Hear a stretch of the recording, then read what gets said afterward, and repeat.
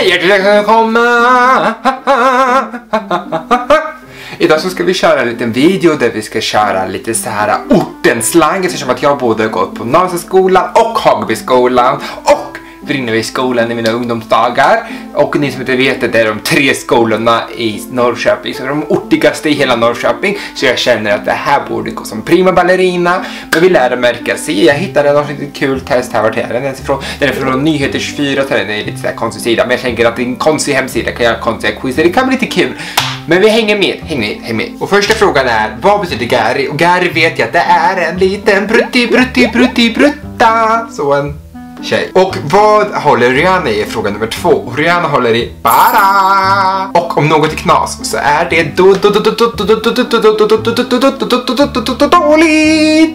Aina kommer betyder att polisen här, göm er knark, göm knarket. Jag känner att jag är too good for this shit. Gus betyder gus, gus, gus, gus, den tjej. Om du ska gitta ska du göra då, då ska du dra därifrån. Vad är tambanja?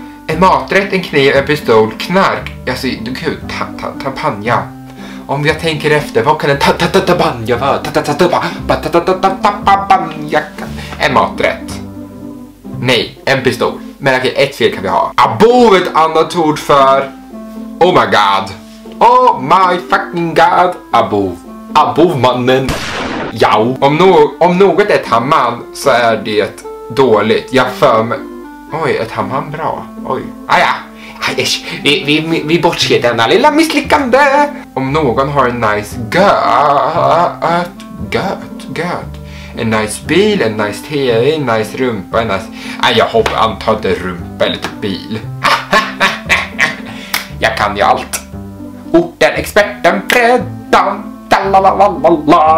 Oj, nu, nu, nu, nu. Om någon känner en shuno så känner hen en Alltså jag har hört det, men det borde ju vara en kille. Hur många tjejsmeknamn kan de ha egentligen? Exakt, någonting måste finnas till killar också. Om din kompis ger dig en baxad katt så är katten stulen. Åh oh, nej, inte död. Stulen. Stulen är katten då. Oj, shishko är ett annat ord för snygg, ful, tjock, kåt. Ja, kåt säger vi. Fan, det är tjock. Någon säger på gud som menar den egentligen att hen har träffat Gud. Nej, det betyder att hen svävar vid Guds nåd att hen är ärlig. Och hur många rätt hade jag?